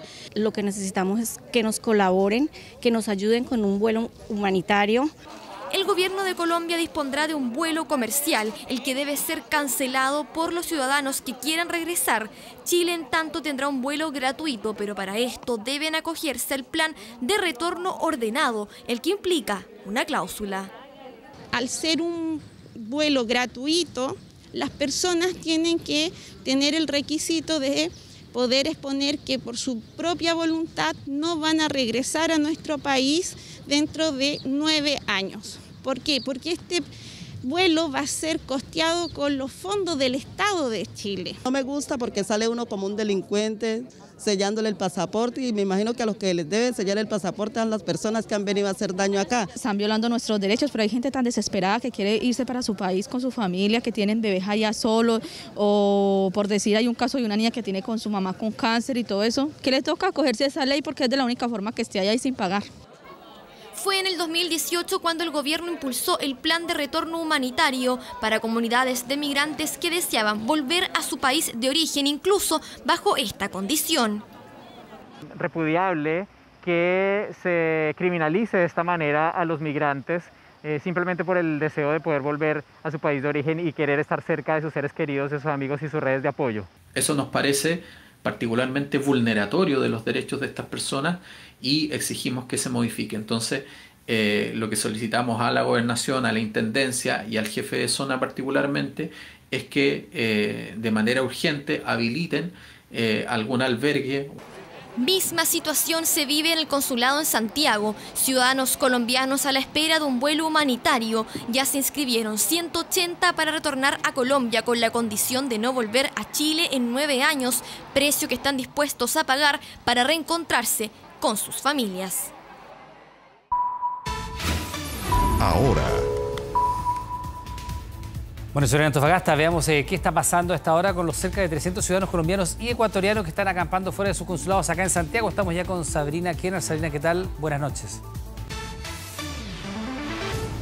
Buenas noches. Más de 300 personas, personas de la tercera edad, niños y hasta embarazadas, se preparan para pasar otra noche acá en las afueras del consulado, con temperaturas que llegan a bajar hasta los 2 grados. Se trata de colombianos que llevan más de un mes durmiendo fuera de su consulado y que piden ayuda para, volver a su país en medio de esta pandemia. ¿Qué es lo que buscan? Retornar a su país, ya que debido a la pandemia varios han perdido su trabajo y no tienen cómo sustentar su estadía en nuestro país. Y la única forma que tienen para volver es a través de un avión. Ahora, durante esta tarde se vivió una situación bastante compleja. Recordemos que el miércoles pasado el ministro de Relaciones Exteriores, Teodoro Rivera, anunció un vuelo humanitario que iba a estar planeado para mañana. ¿Cómo iba a funcionar? Justamente se trataría de un vuelo que iban a traer a 200 personas chilenas que se encontraban varados en Colombia y los iban a traer de vuelta a su país. Y aprovechando este viaje justamente iban a aprovechar de llevar a 200 colombianos de vuelta a su país. Pero durante esta tarde se les informó mediante un correo que este vuelo sería postergado. Escuchemos la declaración de la vocera del grupo de colombianos que se encuentran durmiendo acá afuera del consulado.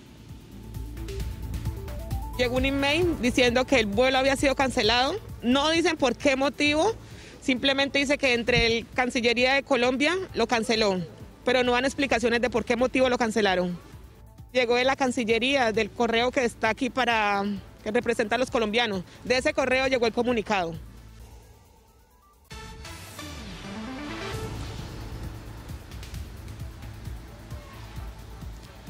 Así es. ¿Qué decía este correo? Es que por decisión de la Cancillería chilena se aplaza el vuelo humanitario previsto para el 9 de junio, mientras se define la repatriación de nacionales chilenos a este país. Un tema que consultamos justamente con la Cancillería de nuestro país aproximadamente a las 5 de la tarde y que aún estamos a la espera de una respuesta para poder verificar esta información. De todas formas, no es esto lo único que les preocupa, ya que el vuelo está planeado para 200 personas para volver a su país y tal como pueden ver en imágenes, hay muchas más de 200 personas. Está calculado aproximadamente 200 colombianos en este lugar. De todas formas, la Intendencia ha ofrecido albergue para estos ciudadanos para que ellos puedan eh, realizar el distanciamiento social, también para poder tener las distintas medidas sanitarias, pero ellos han rechazado esta medida justamente porque no quieren que su gobierno se afloje, quieren poner presión para que su gobierno les dé una respuesta lo antes posible. Pasemos a escuchar declaraciones del intendente. Desde el primer día lo hemos invitado a que vayan a un albergue, está, está preparado para ellos. Sin embargo, por alguna razón creen que es mejor hacer presión frente a su eh, eh, embajada y no se quieren ir a un, a un albergue. Yo los conmino, los invito, eh, les pido que se vayan a un albergue para que tengan las condiciones adecuadas para dormir, para comer, para asearse, en fin, la dignidad mínima que eh, podemos eh, ofrecerle a estos ciudadanos colombianos.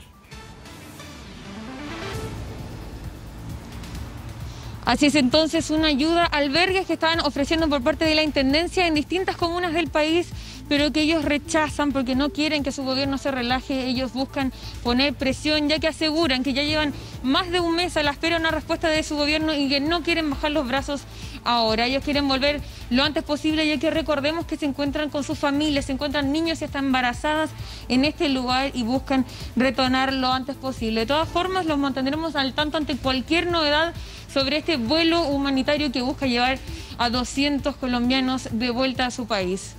Sí, Sabrina, es una situación compleja porque naturalmente hay un tema allí humanitario, son cerca de 300 personas que están acampando en la calle.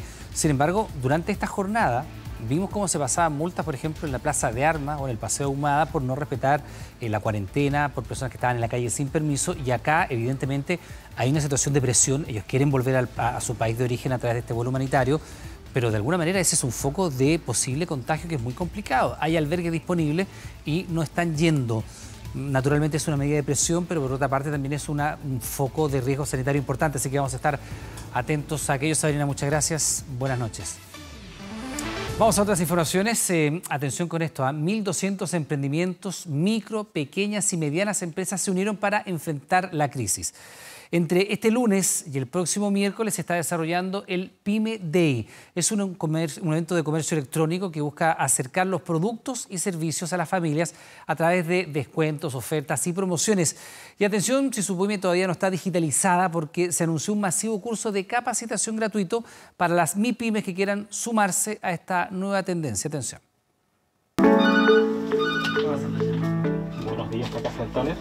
Sí, tenemos ese modelo para una impresora Brother. Pese a todo, esta pyme continúa funcionando. Venden tintas para impresora, reparten insumos a laboratorios, clínicas y centros médicos. También despachan cartuchos y toner para los que necesitan imprimir en sus casas. Han incrementado las ventas de impresoras láser eh, eh, monocromáticas que solo imprimen negro para los trabajos escolares, ¿cierto?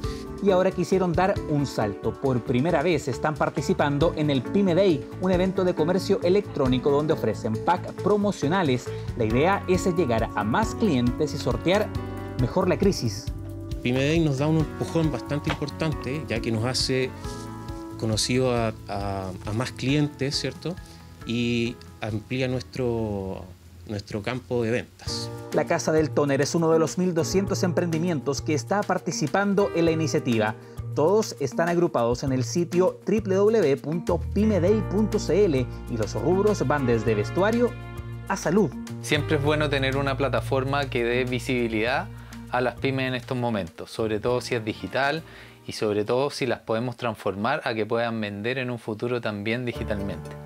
Felipe es uno de los organizadores y su empresa también participa del evento. Denda es un marketplace, aquí venden los productos de distintas pymes, también algunos propios. Así, juntan fuerzas para potenciar las ventas. Ahora con el COVID, como la gente está en sus casas, eh, no está yendo mejor. Ya la gente se está acostumbrando a pedir todas sus cosas a, a, la casa directamente. Pero no todas las micro, pequeñas y medianas empresas tienen un sitio web o una cuenta de redes sociales para vender en línea.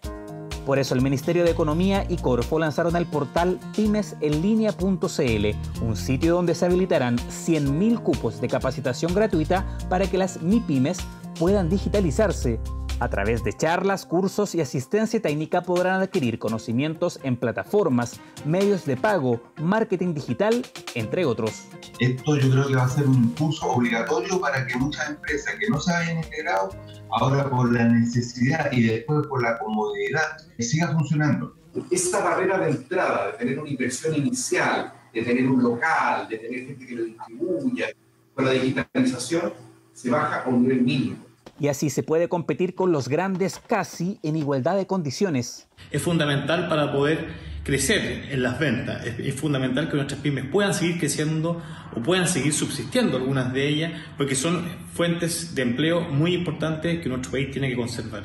Cerca de 900.000 MIPIMES siguen luchando para mantenerse en pie, una dura tarea que a través de nuevas herramientas y canales de comercialización puede convertirse en una oportunidad.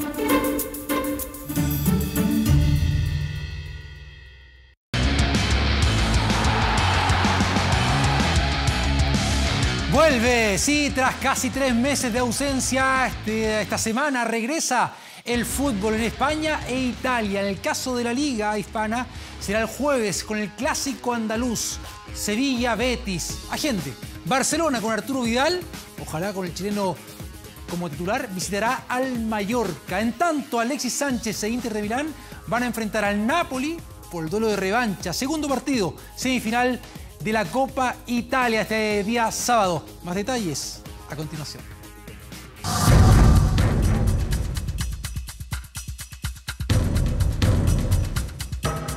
ya estamos volviendo y estamos muy bien. Casi tres meses sin jugar, pero ya es hora del retorno y la cartelera del Rey Alexis se vuelve a activar el próximo fin de semana. Arturo le gana la partida a Artur. Arturo Vidal tiene sorprendido a Quique Setién y el diario Sport adelanta que el chileno será titular. El chileno llega en un estado de forma excepcional y es muy del gusto de los técnicos. Artur y Rakitic los damnificados, la actitud de Vidal es considerada importante para la recta final de la Liga Española. Saber cómo eh, va evolucionando la competición y las necesidades que tenemos y, y, bueno, las circunstancias que se vayan dando, ¿no? Serán muchos partidos en pocos días. El Barça visitará el próximo sábado al Mallorca a las 16 horas de Chile, con la opción de cinco cambios, por lo que la movilidad será mucha. Es verdad que van a estar los partidos muy concentrados, pero y que no tenemos una plantilla especialmente larga. La liga vuelve este jueves con el derby andaluz entre Sevilla y Betis. En el caso de Italia también llegó la hora para Alexis Sánchez. Alexis Sánchez ya está recuperado y entrenando a la par de sus compañeros, aunque sus posibilidades de ser titular son escasas, algo negativo, teniendo en cuenta que Maravilla debe convencer a Antonio Conte de renovarle el préstamo por un año más, algo que según la prensa italiana ya está prácticamente cerrado. Sánchez Tome nota, el sábado a las 14.45 horas, el Inter regresará a las canchas, será por Copa Italia ante Napoli en el mítico Estadio San Paolo de Nápoles. Tendrá que dar vuelta un 1 a 0 en contra. Los dos estandartes de la generación dorada del fútbol chileno aprestan su retorno, cada uno con diferentes realidades y distintos objetivos de cara al fin de la temporada. Expectantes entonces antes. Y atención, atención, Consejo de Presidentes en el fútbol chileno hoy. Si la pandemia lo permite, si las medidas eh, sanitarias están dispuestas en el fútbol chileno, el campeonato nacional regresa el viernes 31 de julio. Fecha 31 de julio, sábado 1 y domingo 2 de agosto. ¿ya? Mientras tanto, la NFP ya se palpita la carrera para por ser el presidente de la ANFP. Atención con los detalles.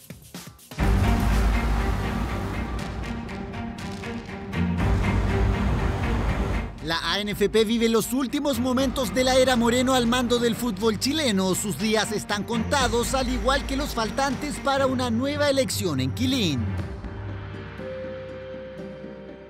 El próximo 30 de julio se conocerá quién tome el sillón dejado por el ex Cobresal. De momento la carrera es entre dos candidatos, fuerzas absolutamente opuestas venidos desde diferentes sectores. Por un lado aparece Pablo Milad, de 56 años, quien en medio de la pandemia renunció a su cargo como intendente del Maule para postular a Quilín. Hoy esta pasión me llama para que volvamos a reencontrarnos. Colo Colo, la UI Católica estarían entre los 21 sufragios que ya tendría en el bolsillo el dirigente. Eh, nosotros estamos enfocados en que la comunidad tenga beneficio. Esto era parte del proyecto que encabezó Lorenzo Antillo, de 38 años en Audax italiano y que podría buscar replicar en su candidatura a la ANFP. Al igual que su contendor, el hombre fuerte de los itálicos contaría con 21 votos, Palestino, Unión y Coquimbo entre ellos. Ambos dirigentes ya se muestran las garras. Santillo incluso descartó la propuesta de Milad que buscaba una lista de unidad. La salida de Moreno deja dos caminos. La competencia por el sillón de la ANFP está en carrera. Imagen con el ingenio de los fanáticos. Mira, esto ocurrió en República Checa. Los aficionados del Bohemians de Praga, que se ubican detrás de un muro, se paran sobre escaleras para poder ver y, alentar a su equipo en un partido frente al Sparta de Praga. La liga en ese país se reanudó el fin de semana pasado, obviamente tras la paralización por el COVID-19, pero ahí están los hinchas que no están permitidos dentro del recinto deportivo, se juega sin público, bueno, están detrás, literalmente ahí detrás del muro. Oh, eh, mira este estadio, increíble, un recinto deportivo en Qatar, todo listo para su inauguración, que será uno de los estadios para la Copa del Mundo 2022. Se trata del Education City Stadium de Doha, capacidad para 40.000 personas. capaz de mantener la temperatura de 27 grados Celsius, mientras que en el exterior, ya lo sabemos allá, podría haber cerca de 50 grados. Una de las joyas para la próxima Copa del Mundo. Con esta imagen, vamos a la pausa. Volvemos luego en el bloque, bloque deportivo, acá en 24 horas central.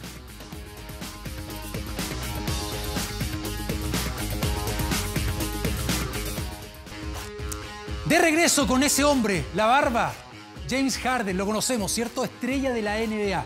Y ahora protagonista de una, anécdota. Eh, gastó millones en un club nocturno en Houston. Y ahí, ¿sabes qué hicieron? Le rindieron un homenaje. Mira.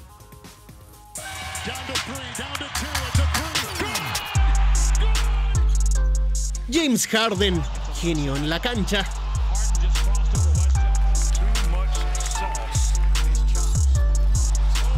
Máxima figura de los Houston Rockets, se prepara para ir por su primer anillo cuando la NBA retome en Disney. También hace noticia fuera de los pabellones.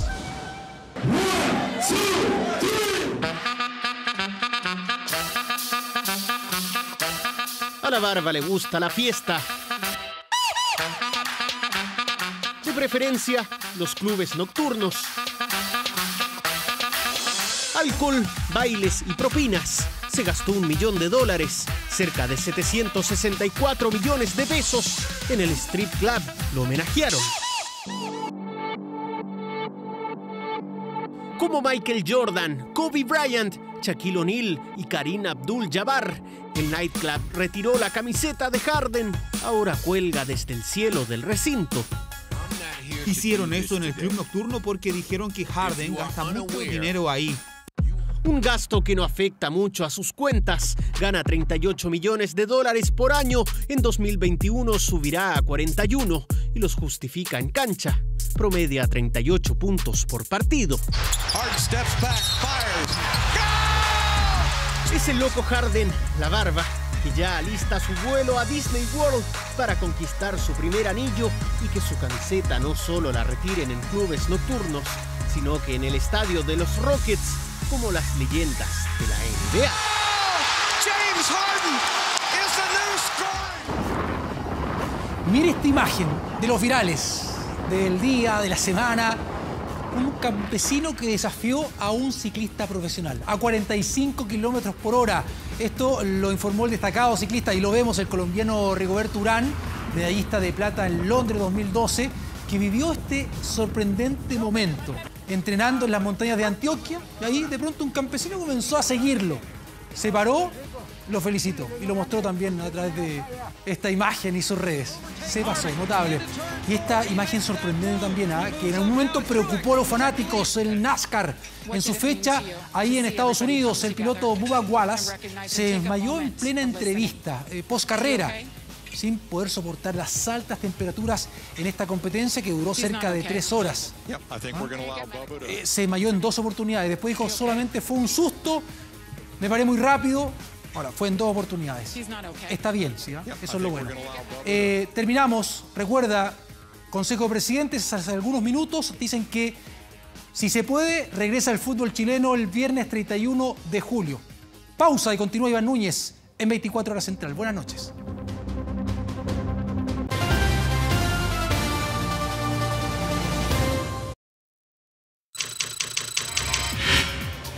24horas.cl. Ya estamos de regreso. Atención con lo siguiente porque la pandemia del coronavirus en Chile avanza y deja ya a más de 138 mil contagiados y 2.264 personas que han fallecido. Es por eso que en la sección 24 Data de nuestro portal de noticias 24horas.cl usted podrá encontrar los 13 síntomas más frecuentes entre las personas hospitalizadas por COVID-19 en Chile, donde la dificultad para respirar también es una de las más eh, molestias. Y sabe que ahí están todos los síntomas para que usted no se lo pierda. 8 de junio, ¿qué pasó un día como hoy? Lo vemos a continuación en Momentos TN y luego un nuevo capítulo de ERCAI. No se lo pierda, que tenga buenas noches.